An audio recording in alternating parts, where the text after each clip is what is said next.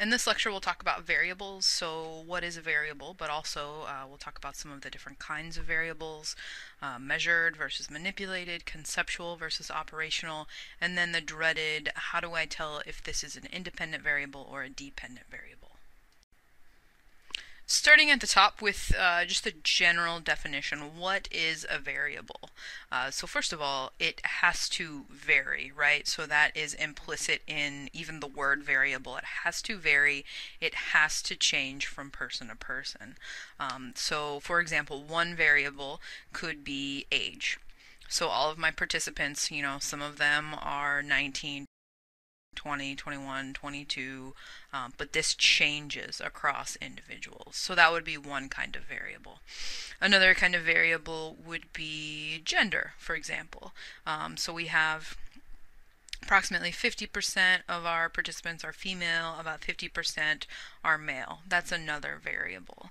So variables are really at the heart of the entire research process. So variables are the things that researchers are interested in. Sometimes we um, we change things across these variables and so they can have different levels. So for example, my gender variable has two levels. So that means you have two options for your gender variable, right? So you're either a male or a female. So that's a variable with two levels. Sometimes we just we just observe that kind of thing.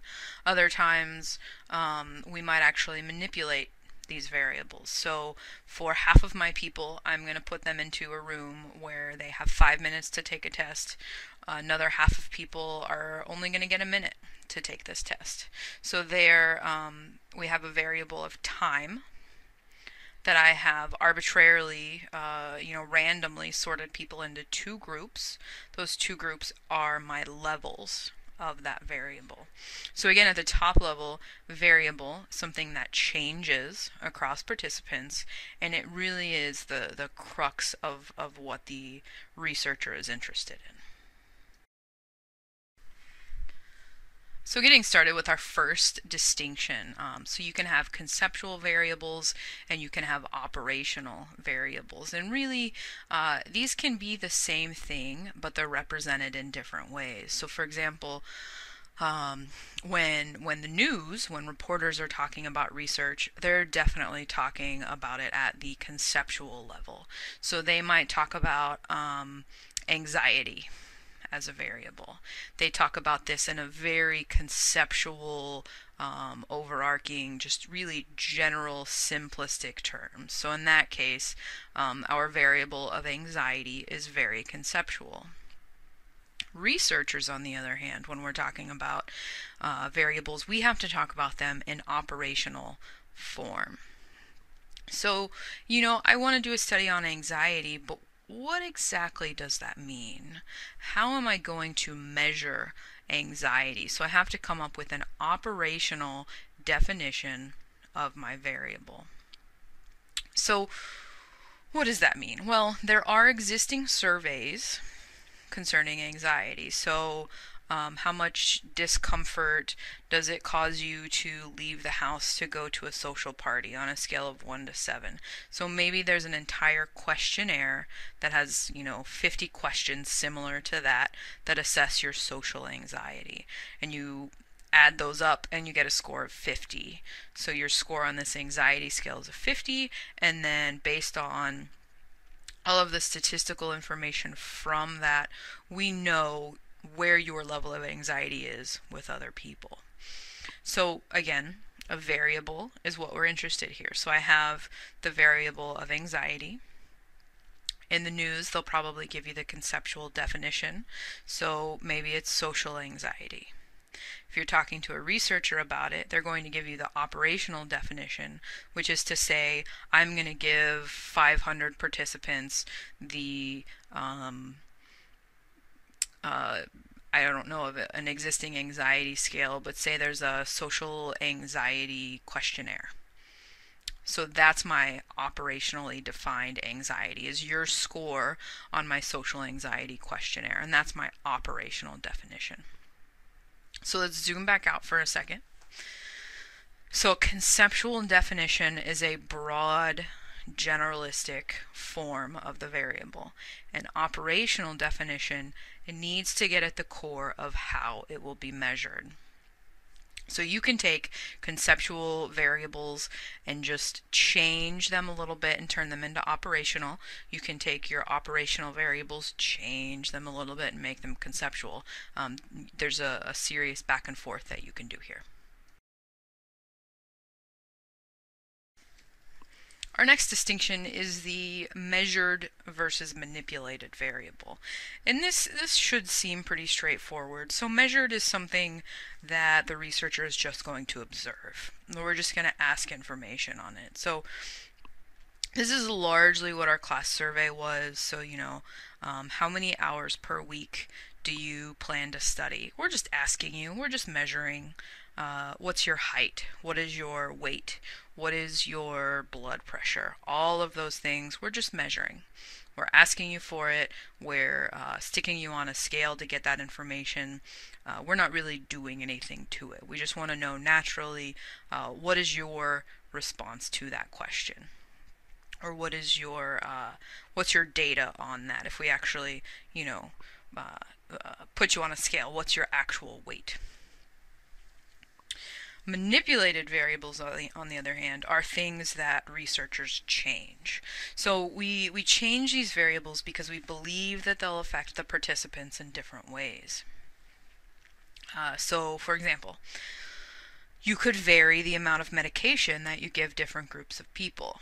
So, uh, say you have a group of anxious uh, participants, anxious clients perhaps, and you tell them, uh, you know, you're participating in a research study and I'm going to randomly assign you to one of two conditions. So one condition gets a low dose of anti-anxiety medication, the other gets a high dose. So here we're manipulating the dosage, which is our variable, um, to see how it influences, you know, behavioral symptoms or whatever down the line.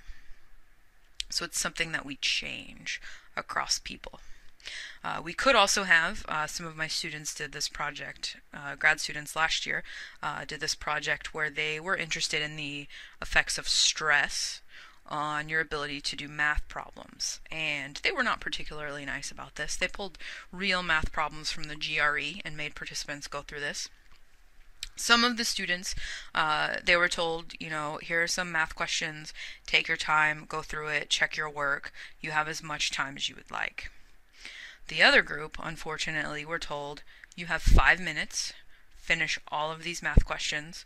Uh, at the end of five minutes, put down your pencils, and, and you can't work anymore from there. So here we have the variable of time, and we have different levels of time. So at one level, some people are given as much time as they want, and at the other level, uh, they're given five minutes and then cut off. So again, it's something that the researchers are manipulating. They're changing across people. Maybe I'm interested in, uh, you know, do we study better alone or in groups? So study setting could be a variable that I'm interested in. And I'm going to tell half of my participants, okay, form a study group, study together. I'm going to tell another group, you can only study on your own. You cannot use any other people. You can't study around people. You need to go to a, lo- a room, close the door, study completely by yourself. So this is the variable, uh, we'll call it study environment, that has two different levels. Some people are allowed to study with other people, say three other people, and then the others, the other group is told to study alone. So those are all variables that we're manipulating. They're manipulated variables. It's something that the researcher is changing.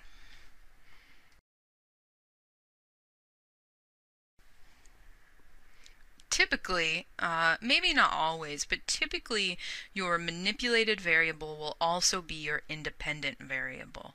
Uh, so here we have just talking about uh, the amount of medication.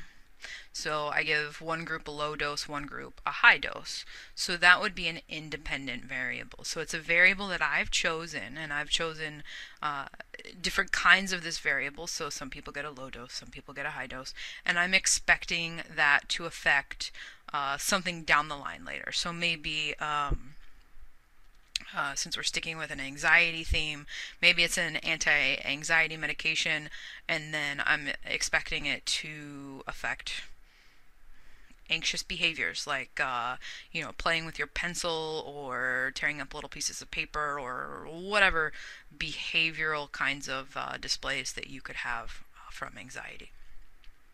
So here we have the amount of medication as a variable, and then we also have the behavioral signs of anxiety as a variable.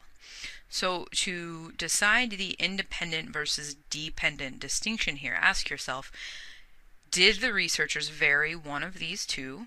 Did they manipulate one of these two variables in the hopes of changing the other? And it's a pretty simple case here. So uh, I, I changed the dosage of the medication making it the independent variable. So that's what I changed, what I mess with. And then the dependent is left alone. So it's naturally going to change as a result of the independent variable. So here in this situation, the dependent variable would be the behavioral displays of anxiety. So I don't touch the dependent variable. I just ask about it. I measure it however I'm operationally doing that. I go about it, but I do not manipulate that. So I manipulate the independent variable.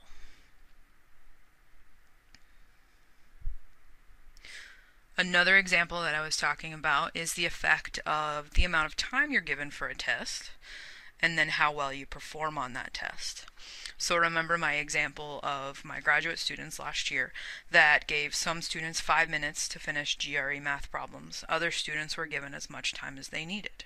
So this is an independent variable of time that has two levels. One level, five minutes. The other, as much time as you need. That's my independent variable. So I'm thinking that this, this timing will influence how well you do on this test.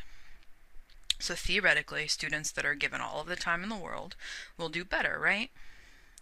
So my other variable that I'm interested in, performance on the math test. So maybe it's a numerical, maybe it's 90% correct, 80% correct.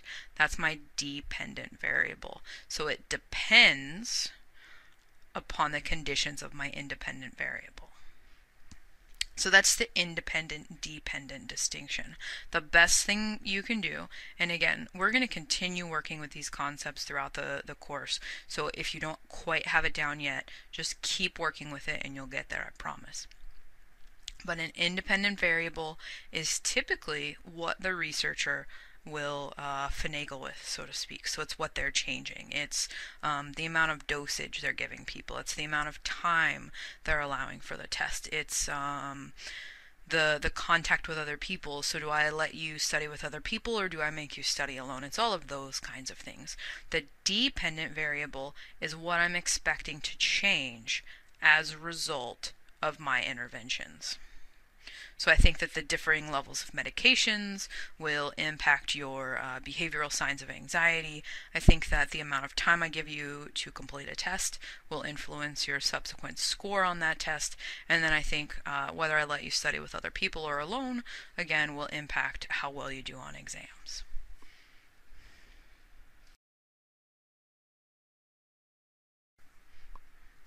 So as you're working on understanding all of the different kinds of variables, all of the different levels, all of that kind of stuff, I encourage you to turn to this table.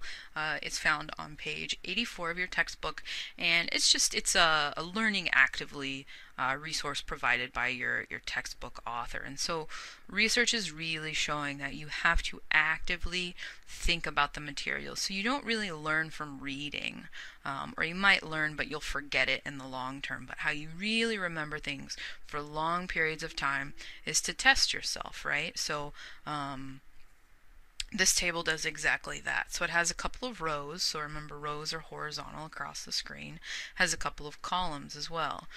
So for each row, they have a different scenario. So here the first one, Uh, a questionnaire study asks for various demographic information, including the participant's sex.